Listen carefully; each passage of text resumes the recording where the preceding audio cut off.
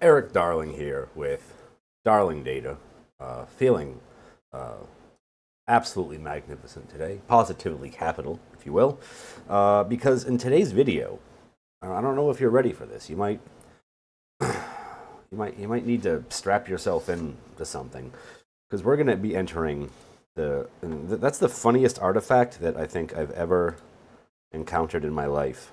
Is uh, this little Redgate thing showing up over PowerPoint in presenter mode. Uh, that's that's cute. Um, we'll just uh, I don't know, I could pick one again there. Uh, since I already clicked and you already kind of saw it, we're going to be entering the sexy world of nested loops prefetching. Huh? yeah, all right. Hope you don't have your tight pants on.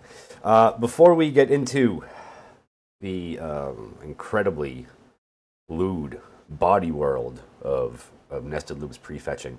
Um, if you happen to like me enough to spend four dollars a month, if you're not currently supporting, like if, if as long as that four dollars a month wouldn't like come from like the four dollars a month it takes to support a starving child somewhere you can subscribe to my channel with via a membership there's a link to do that in the video description if, if, if, if that would take money away from a starving child, which I would never want to do, uh, you, can, you can do other things to show your un undying support, your unmitigated devotion to being a data darling uh, by liking my videos, commenting on my videos, and uh, doing the, the one-time maximal effort um, dance by subscribing to my channel. If you are in need of SQL Server help, many of you are. I see you out there struggling, having problems. You can't tell which, which end of the pants go on first. My rates are reasonable. I can do this stuff. I can do more stuff at a reasonable rate. Whatever you need, let me know. Uh, if you are uh, in the market for some affordable SQL Server training that will last you for the rest of your life, I have over 24 hours of it available, streaming. You can just play it and learn, like put your head, fall asleep with it on, whatever you want to do. And you can get that for about 150 US dollars with the discount code spring cleaning there down below. Um, if you would like to see me in live and in person, if you would like to see me uh, up and talking about databasey things uh, in, in the flesh, as it were. But again, this, this video is going to be so sexy that I don't I don't think that we need to add the word flesh to it. Might might just be overkill. Um, you can catch uh, Kendra Little and I um, performing two days of SQL Server Miracles, uh, November 4th and 5th in Seattle at PASS Data Summit. And as always, if there is an event nearby you that you think I would be a good um, addition to, and they are in need of a pre-con speaker, you just let me know what that event is, and perhaps I can work out some way of showing up. Because that's, that's what I do best is just show up. like I do here every day. So with that out of the way, let us continue on to the, to the nested loops prefetch party. All right. So I believe I've already created this index because it says query executed successfully, and I did. I, we are large and in charge here. So uh, first off, no, no video about something so just titillating would be complete without blog posts from some of my favorite bloggers of all time. Uh, Craig Friedman, uh, Microsoft fella, used to write a whole bunch of really great stuff about SQL Server. Um, from what I understand now, he's busy trying to figure out how to use an iPhone. Uh, and of course, Paul White has a good article about this stuff as well. So if you are interested in diving further into this, uh, these links will be available in the video description. You, you might have to uh, do something so bold as scrolling to find them.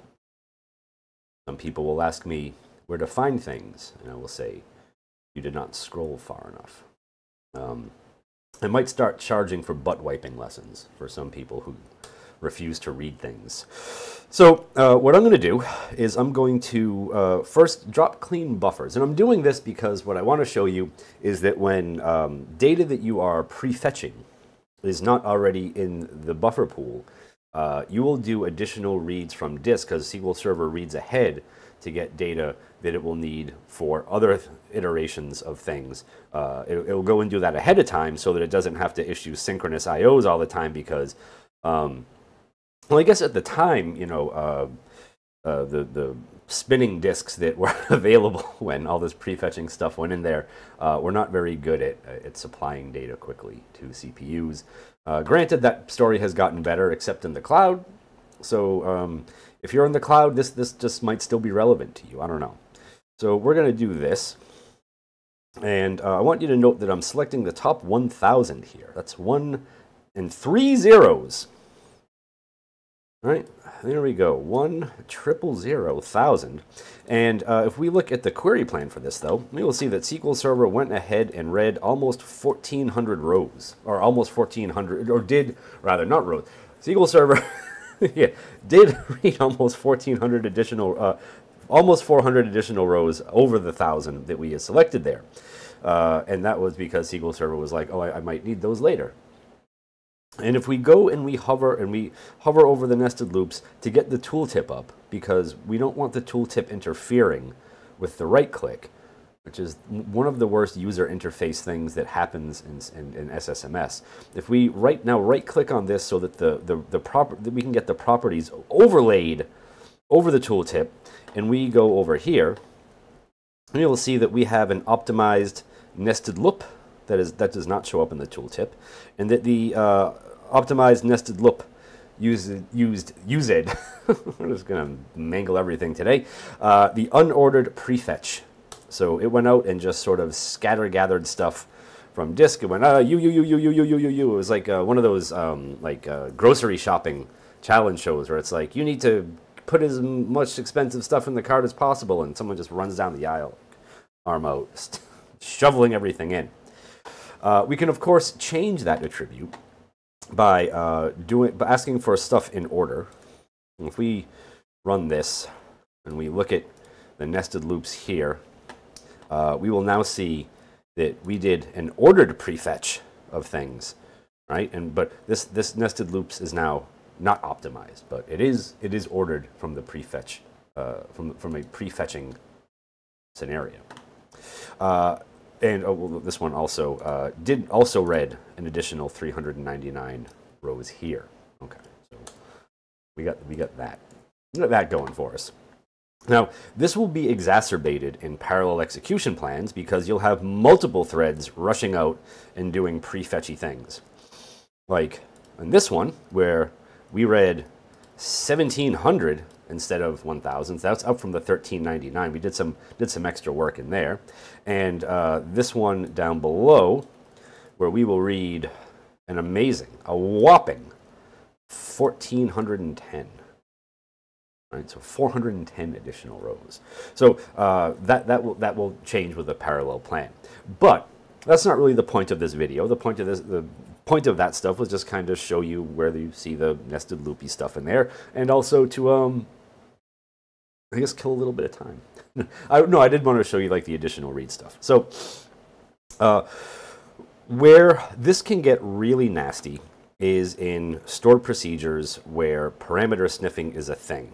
So I've got this store procedure ginned up here, and it's going to select the top 50,000 rows from the post table, and um, just to make things easy to demo without having to worry, without having to fiddle too much with things, um, I've got it hinted to use the specific index that we want.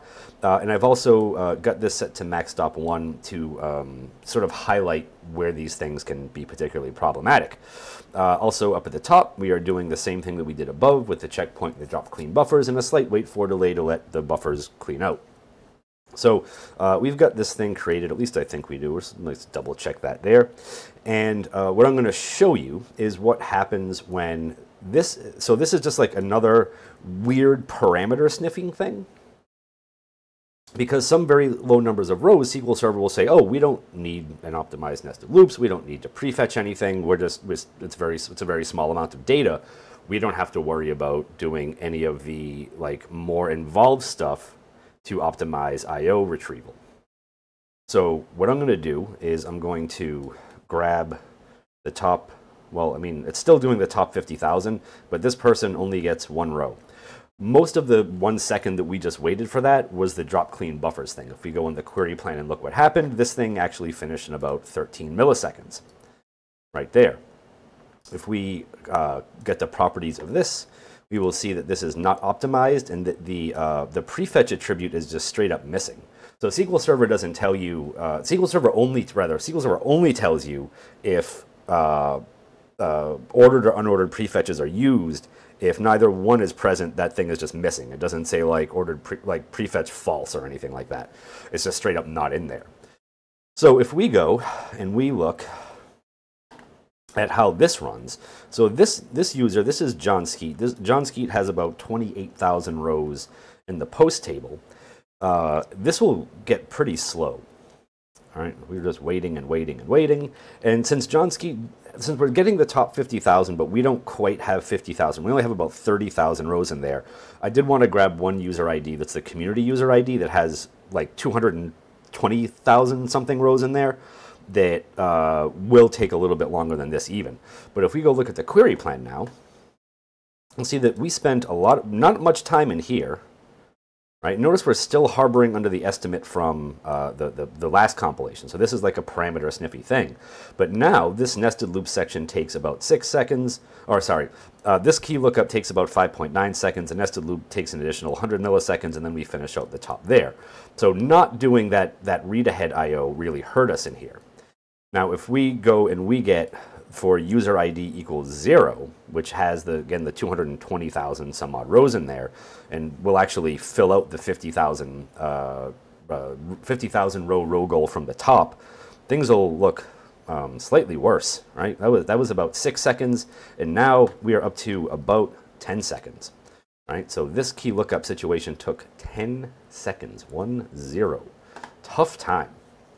Where that changes though is if we recompile this and we go back and we run this the first time for Jon Skeet, right? So the 22656 user, that didn't take five something seconds, did it?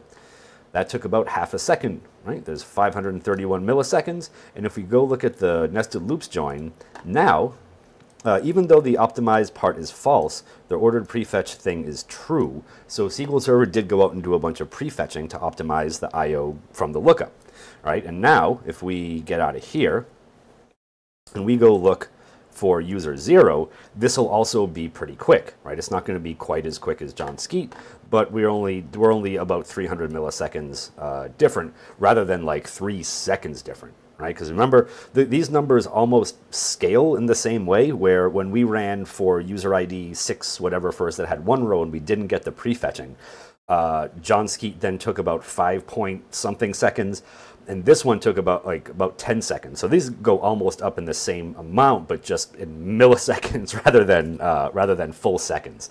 So if you are ever dealing with a weird situation with a, a query plan, or even a you know something in a stored procedure, a parameterized uh, parameterized query, where you have a nested loops join and and like the plan doesn't plan itself doesn't change. And you you suspect parameter sniffing and you're like maybe you go to query store maybe you use sp_QuickieStore to look at quickie store and you're like well this thing generates different execution plans but they all look the same. They all use nested loops. What's going on? Uh, doing something like this and looking at the properties and figuring out if sometimes the um, the nested loop join uses prefetching and sometimes doesn't is probably going to be your answer. Now, there are various ways of fixing that. Um, you know, if you have, if you know kind of what you're doing, uh, you may be able to add an optimized for hint uh, to your query to continuously get the prefetching right? Because prefetching is based on cardinality estimation for low numbers of rows. SQL Server's like, no, we don't need to go out of our way for that. Um, I, if, if, I'm remembering correctly, there's like a, it's like 25 rows that you, at minimum that you need to get the, the prefetching stuff, but uh, those details may have changed and may actually be subject to change. I don't, I don't, I don't recall uh, exactly how long ago I had, I had figured that one out, but uh, it, may, it may be different now. And um, it's kind of a pain in the butt to find all the different test scenarios for these videos and still have them take a reasonable amount of time where my camera will stay on and won't overheat and all that other good stuff.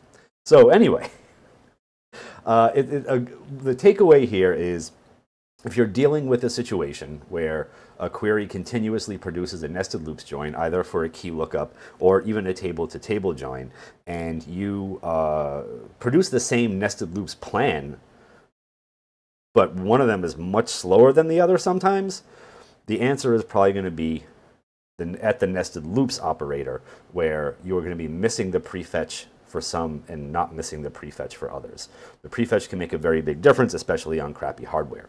So with that out of the way, with that brilliant recap out of the way, I hope everyone, I hope everyone's doing okay now. I hope everyone is sufficiently covered from from this this just charged video. Uh, uh, I hope you enjoyed yourselves. I hope you learned something. Uh, I hope that you will continue to watch these wonderful videos and uh, support this channel in whatever way you, you are able to, because um, I, I do appreciate you. Anyway, uh, that's about it for this one. Uh, thank you very much for watching. Um, I believe it's it's nearly time to go to the gym and um, you know make make get a get a physical workout, break a break a physical sweat on top of the mental sweat that I spent talking about nested loops prefetching. ah, all right, that's good here. Thank you for watching.